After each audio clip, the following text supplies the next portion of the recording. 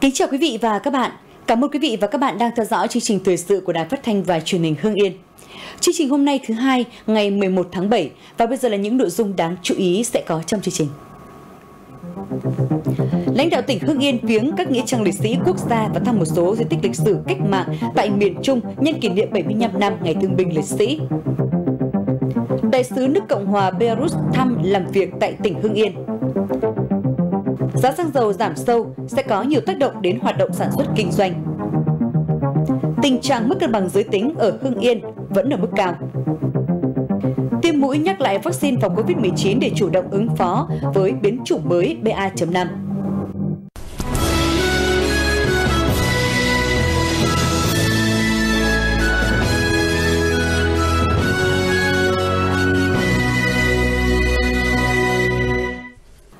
vị và các bạn, nhân kỷ niệm 75 năm Ngày Thương binh Liệt sĩ 27 tháng 7 năm 1947, 27 tháng 7 năm 2022, từ ngày 8 đến ngày 10 tháng 7, đoàn cán bộ tỉnh Hưng Yên gồm các đồng chí Nguyễn Hữu Nghĩa, Ủy viên Ban chấp hành Trung ương Đảng, Bí thư tỉnh ủy, đồng chí Trần Quốc Toản, Phó Bí thư Thường trực tỉnh ủy, Chủ tịch Hội đồng nhân dân tỉnh, đồng chí Trần Quốc Văn, Phó Bí thư tỉnh ủy, Chủ tịch Ủy ban nhân dân tỉnh đã đến viếng các nghĩa trang quốc gia và thăm một số di tích lịch sử cách mạng ở tỉnh Quảng Trị, Quảng Bình và Hà Tĩnh. Tham gia đoàn có các đồng chí Ủy viên Ban Thường vụ tỉnh ủy, Thường trực Hội đồng nhân dân, lãnh đạo Ủy ban nhân dân và lãnh đạo một số sở ban ngành của tỉnh. Ngày 9 tháng 7, đoàn công tác tỉnh ta đã đến viếng nghĩa trang liệt sĩ quốc gia Trường Sơn, nghĩa trang liệt sĩ quốc gia Đường 9, di tích quốc gia đặc biệt thành cổ Quảng Trị. Nghĩa trang liệt sĩ quốc gia Trường Sơn, nghĩa trang liệt sĩ quốc gia Đường 9 là hai trong số những nghĩa trang liệt sĩ có quy mô lớn nhất cả nước. Nghĩa trang liệt sĩ quốc gia Trường Sơn là nơi yên nghỉ của hơn 10.000 anh hùng liệt sĩ, trong đó tỉnh Hưng Yên có 332 liệt sĩ. Nghĩa trang liệt sĩ quốc gia đường 9 là nơi yên nghỉ của hơn 9.000 liệt sĩ, trong đó có 140 liệt sĩ người Hưng Yên. Sau khi thỉnh chuông tưởng niệm các liệt sĩ tại Nghĩa trang liệt sĩ quốc gia Trường Sơn, đoàn công tác đã dâng hoa dâng hương, dành phút tưởng niệm, đồng thời thắp hương trên phần mộ các liệt sĩ quê hương Yên và Hải Dương. Trước anh linh canh hùng liệt sĩ, đồng chí Bí thư tỉnh ủy Nguyễn Hữu Nghĩa cùng đoàn công tác thay mặt Đảng bộ, chính quyền và nhân dân tỉnh Hưng Yên bày tỏ lòng tri ân sâu sắc đến canh hùng liệt sĩ đã hy sinh cho nền độc lập dân tộc tự do của Tổ quốc. Tại nghĩa trang liệt sĩ quốc gia đường 9, đồng chí Bí thư tỉnh ủy Nguyễn Hữu Nghĩa cùng đoàn dân hoa dân hương của tỉnh ủy, Hội đồng nhân dân, Ủy ban nhân dân, Ủy ban Mặt trận Tổ quốc Việt Nam tỉnh viếng canh hùng liệt sĩ. Các đồng chí trong đoàn lần lượt thắp lên phần mộ các liệt sĩ những nén hương thơm, chỉnh trang dọn dẹp bia đá trên các phần mộ của các liệt sĩ tỉnh Hưng Yên và tỉnh Hải Dương. Quê hương và Tổ quốc luôn khắc ghi công lao to lớn, sự hy sinh mất mát của các anh, nguyện sống lao động và công tác xây dựng quê hương đất nước ngày càng giàu đẹp, văn minh. Trong trận chiến 81 ngày đêm bảo vệ thành cổ Quảng Trị năm 1972, Mỹ đã bắn phá vào thành cổ và vùng phụ cận gần 330.000 tấn bom đạn, hàng nghìn chiến sĩ đã kiên cường bám trụ chiến đấu, giữ từng tấc đất thành cổ, nhiều chiến sĩ đã anh dũng hy sinh. Tại các nơi đến thăm, đồng chí Bí thư tỉnh ủy Nguyễn Hữu Nghĩa cùng đoàn công tác bày tỏ lòng biết ơn sâu sắc tới các anh hùng liệt sĩ đã anh dũng hy sinh vì sự nghiệp giải phóng dân tộc, thống nhất đất nước, xây dựng và bảo vệ Tổ quốc. Ngày 10 tháng 7, đoàn đến dân hương dân hoa và viếng Đại tướng Võ Nguyên Giáp tại Vũng Chùa Đảo Yến, huyện Quảng Trạch, tỉnh Quảng Bình. Trước anh linh của Đại tướng, Thay mặt đoàn, đồng chí Bí thư tỉnh ủy đã báo cáo với đại tướng về những thành tựu của mảnh đất Hương Yên Văn Hiến sau ngày tái lập tỉnh, cũng như công tác đền ơn đáp nghĩa, uống nước nhớ nguồn của dân tộc. Nguyện đoàn kết, nỗ lực, ra sức phấn đấu, đưa kinh tế, văn hóa xã hội tỉnh Hương Yên ngày càng phát triển vững chắc, xứng đáng với sự hy sinh mất mát của các anh hùng liệt sĩ.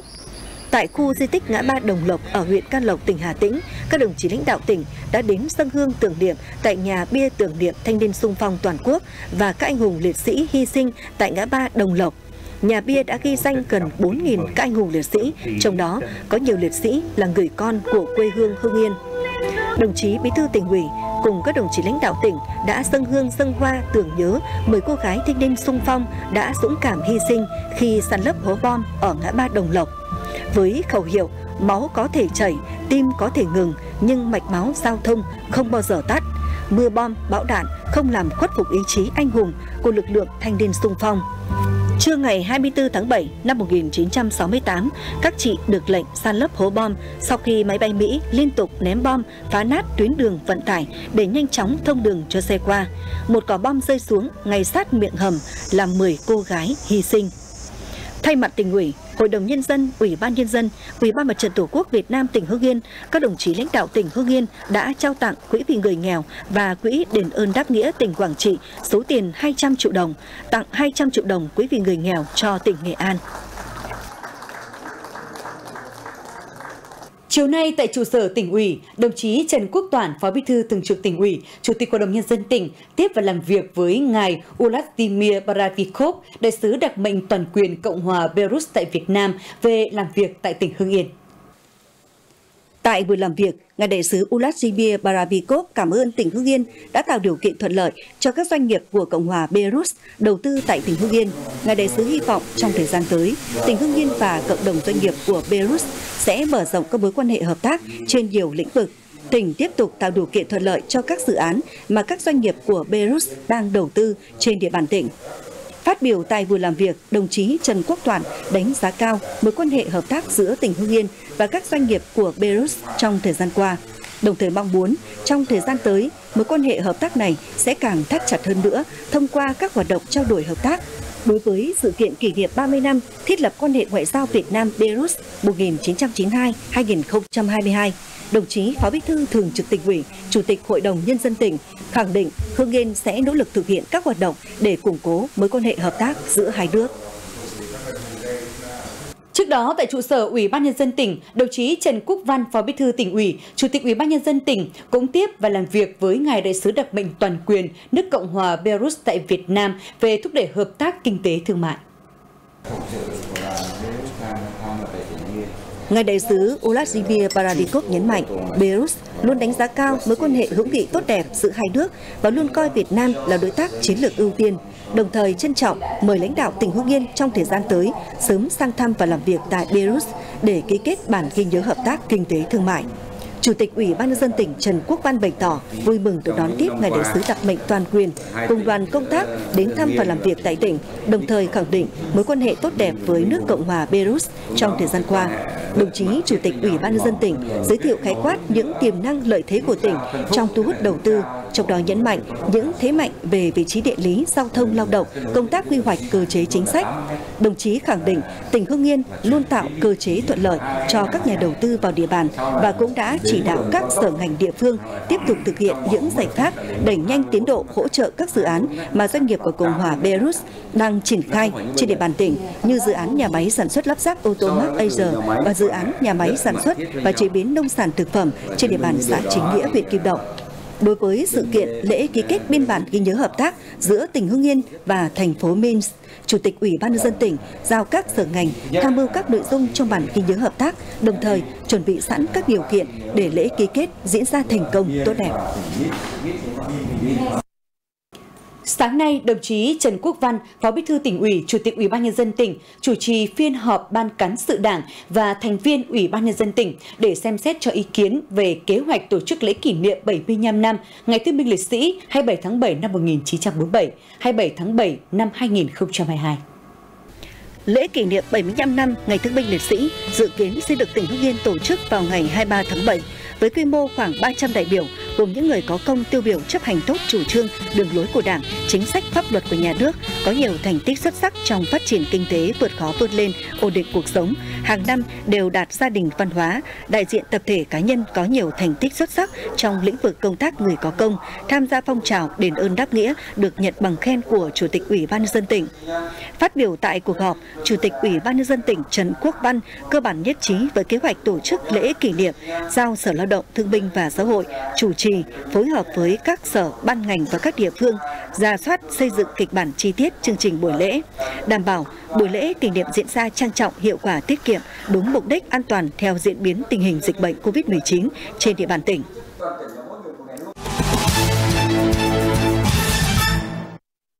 Quý vị và các bạn đang theo dõi chương trình thời sự của Đài Phát thanh và Truyền hình Hưng Yên.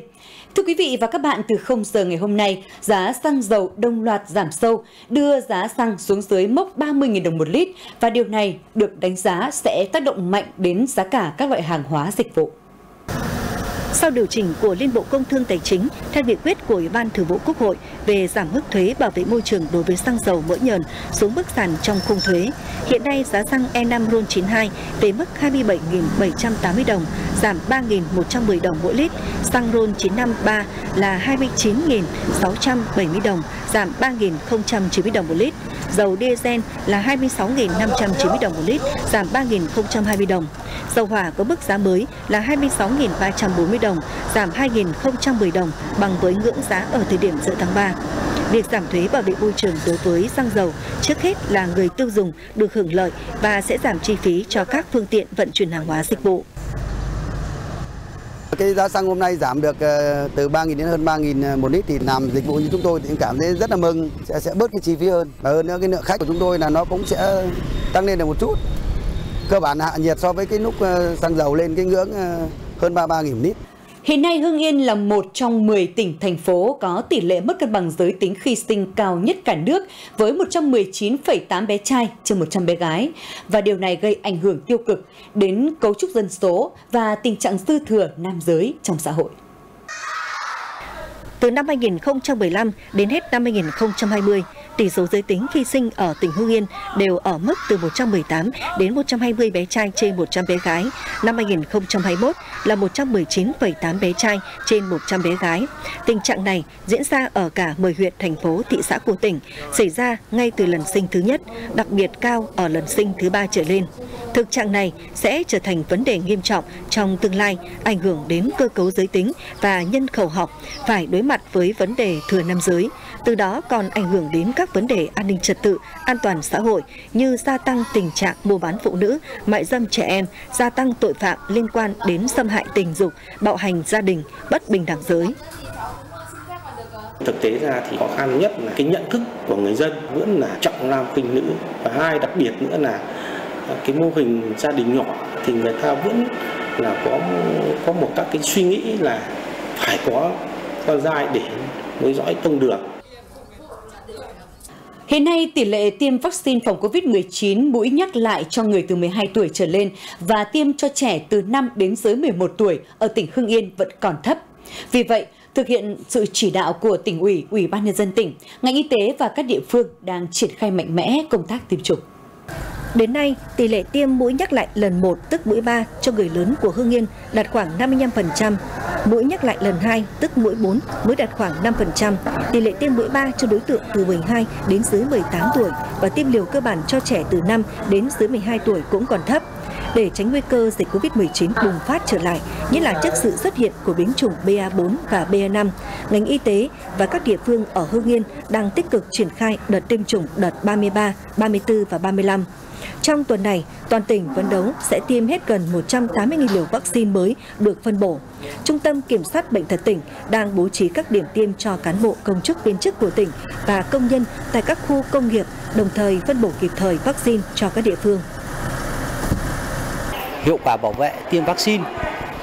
uh, sẽ giảm dần theo thời gian trong vòng 6 tháng. Vì vậy, Tổ chức Y tế Thế giới và CDC Hoa Kỳ khuyến cáo tiêm vaccine phòng Covid-19 mũi nhắc lại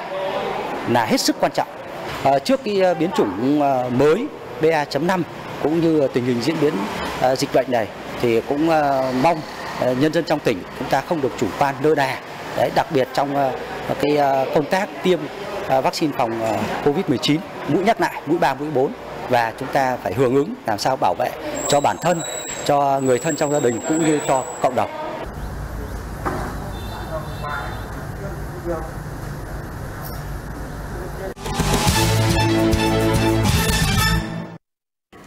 Và các bạn theo dõi tiếp chương trình thời sự. Với tinh thần không có vùng cấm, không có ngoại lệ, từ đầu năm đến nay các cơ quan thanh tra của tỉnh Hưng Yên thực hiện 106 cuộc thanh tra và đã ban hành kết luận 67 cuộc. Qua thanh tra, đã kiến nghị xử lý kinh tế với số tiền trên 14 tỷ đồng, trong đó kiến nghị thu hồi nộp ngân sách nhà nước trên 7,8 tỷ đồng, giảm lỗ khi quyết toán thuế thu nhập doanh nghiệp và các kiến nghị khác là gần 7 tỷ đồng. Kiến nghị xử lý trên 121.000 m2 đất do người dân vi phạm xây dựng công trình trên đất nông nghiệp, hành lang giao thông thủy lợi, xử lý hành chính nhiều tập thể cá nhân, đồng thời kiến nghị cần chỉnh trang hoạt động của các tổ chức cá nhân trên các lĩnh vực. Trong đó đã chuyển vụ việc có dấu hiệu vi phạm pháp luật của một số cá nhân tại Ủy ban nhân dân xã Tống Trân, huyện Phù Cử khi thực hiện chức trách nhiệm vụ được giao trong việc giao đất, thầu đất công ích, thu tiền hoa lợi công sản lên công an tỉnh xem xét giải quyết chỉ đạo đưa vụ việc có dấu hiệu vi phạm pháp luật trong công tác quản lý đất đai xảy ra tại xã Dương Quang, thị xã Mỹ Hào vào diện ban nội chính tỉnh ủy theo dõi, đôn đốc giải quyết. Sáng nay, Ủy ban nhân dân thành phố Hưng Yên tổ chức cuộc họp chuẩn bị cho việc cưỡng chế chuyển giao quyền sử dụng đất và tài sản gắn liền với đất đối với chị Phạm Thị Thúy, anh Trần Văn Quyền có địa chỉ tại phường Hiến Nam, thành phố Hưng Yên. Theo bản án số 17 ngày 29 tháng 5 năm 2020 của Tòa án Nhân dân tỉnh đã có hiệu lực thi hành và khoản phải thi hành là buộc anh Quyền, chị Thúy phải bàn giao toàn bộ khối di sản thừa kế của bà Phạm Thị Hòa cho bà Phạm Thị Lan quản lý sử dụng 236,8 m vuông đất tại số 1 đường Bói Dậy, phường Hiến Nam. Quá trình thi hành án, chấp hành viên đã thực hiện đầy đủ trình tự thủ tục theo quy định của pháp luật, song người phải thi hành án không tự nguyện thi hành. Chấp hành viên đã ban hành quyết định cưỡng chế và thời gian tổ chức vào 8 giờ sáng ngày mai 12 tháng 7. Ủy ban nhân dân thành phố Hưng Yên yêu cầu các cơ quan chức năng phối hợp cùng chính quyền địa phương chuẩn bị đầy đủ điều kiện phục vụ cưỡng chế, đảm bảo an ninh trật tự an toàn cho người và tài sản tham gia cưỡng chế. Thưa quý vị và các bạn, trong khi nhiều xã phường thị trấn trên địa bàn tỉnh Hưng Yên thời gian qua không phát sinh hồ sơ thủ tục hành chính trực tuyến nào, thì 6 tháng qua ở xã Minh Hoàng, huyện Phù Cử có hơn 20 trường hợp sử dụng hình thức tiện ích này. Tuy số lượng hồ sơ trực tuyến chưa cao, nhưng đây vẫn là địa phương cấp xã dẫn đầu của tỉnh Hưng Yên về lĩnh vực này. Anh Bùi Xuân Thịnh lên phòng một cửa của Ủy ban nhân dân xã làm thủ tục khai sinh cho con gái. Khác với lần trước đăng ký khai sinh cho con đầu, anh được hướng dẫn kê khai thông tin qua mạng. Anh đã biết ờ, về ờ, dịch vụ công trực tuyến ờ, qua internet chưa ạ? Cái này mình chỉ nghe qua đài báo cũng chưa chưa chưa đi sâu cũng không hiểu. Dạ vâng. Thế hôm nay em sẽ hướng dẫn anh về thực hiện dịch vụ công trực tuyến mức độ 3. Chưa đầy 30 phút, việc kê khai thông tin đối với khai sinh đã hoàn tất, kết quả báo về đã đăng ký thành công, báo mã hồ sơ và ngày hẹn trả kết quả. Trong thời gian chờ kết quả, cán bộ một cửa sẽ gọi điện thông báo và hướng dẫn cụ thể cho anh thêm một số thông tin liên quan khi khai sinh cho con, đó là việc đăng ký hộ khẩu thường trú và yêu cầu cấp thẻ bảo hiểm cho con. Thì thấy là thủ tục nó rất là đơn giản và thuận tiện cho những người ờ, làm công việc như là công dân như tôi thì tôi thấy là rất là thuận tiện và cũng không có cái gì gọi là phiền hà hay là quấy nhiễu cả, rất là nhanh từ đầu năm đến nay, xã Minh Hoàng đã giải quyết trên 500 hồ sơ thủ tục hành chính, trong đó có 24 hồ sơ trực tuyến mức độ 3 đạt tỷ lệ 4,7%. Đây là địa phương đi đầu của tỉnh thực hiện dịch vụ công mức độ 3. Xuất phát từ tình hình thực tế ở địa phương hiện nay, nhân dân chủ yếu là lao động phổ thông, sản xuất nông nghiệp và làm trong các doanh nghiệp. Do đó, để tập trung tuyên truyền hướng dẫn người dân ứng dụng dịch vụ công là rất khó khăn. Tại Ủy ban nhân dân xã bây giờ có bố trí một địa điểm Ừ, à, tại phòng một cửa à, giải quyết tiếp nhận và hồ sơ trả kết quả cho công dân để hướng dẫn công dân thực hiện thủ tục hành chính ờ, công mức độ 3 bằng cách là hướng dẫn trực tiếp cho người dân trực tiếp trên máy tính trong cái quá trình thực hiện nếu như có vướng mắc gì sẽ liên hệ trực tiếp với tại à, số điện thoại của Ủy ban nhân dân xã hoặc có thể gọi điện trực tiếp cho cán bộ tiếp nhận giải quyết hồ sơ. Thực ra mà nói cái, cái dịch vụ công mức độ 3 này nó cũng là mới mẻ đối với người dân thế nên là tôi ờ, chỉ đạo cán bộ chuyên môn là phải hướng dẫn nhân dân thực hiện từng bước theo cái dịch vụ công mức độ ba. Thường xuyên, hàng ngày tôi kiểm tra đôn đốc các cái bộ phận có liên quan đến dịch vụ công có hồ sơ của nhân dân mức độ 3 mà không giải quyết thì tôi sẽ ý kiến để phải giải quyết bằng được với nhân dân trong ngày hoặc là hẹn phiếu hẹn cho nhân dân như vậy ngày một ngày hai là phải trả lời kết quả công dân.